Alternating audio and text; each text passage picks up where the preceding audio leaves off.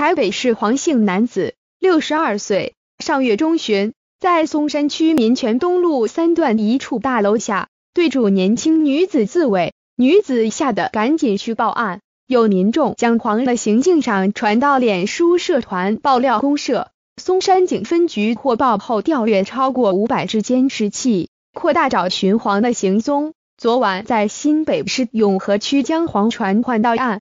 黄进工程，当时是想玩玩自己的小老二。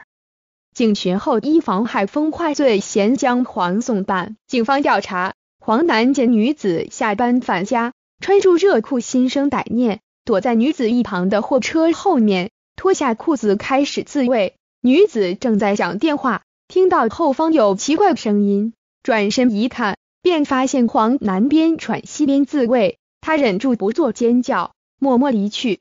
黄静一路尾随，知道有路人经过，黄才赶快逃逸。警方发现黄在松山区犯案后，徒步走到中山区、大安区等地，在台北捷运中校新生站搭捷运返回永和区，足足走了十八个小时。从监视器画面显示，黄走路途中还数度自卫。警方经过半个月的侦办后，终于得知黄的行迹。但是警方到黄男住处按电铃时，他的子子拒绝开门。在请求永和警方协助后，辖区派出所警员协助黄的子子，并请黄男面对。黄男有毒品、窃盗前科，但并未有精神方面疾病。他供称，当天休假四处走走，之前曾在连锁大卖场美食街负责收餐盘，一天至少要走十多小时。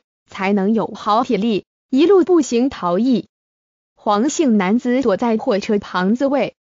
记者李成颖翻摄分享。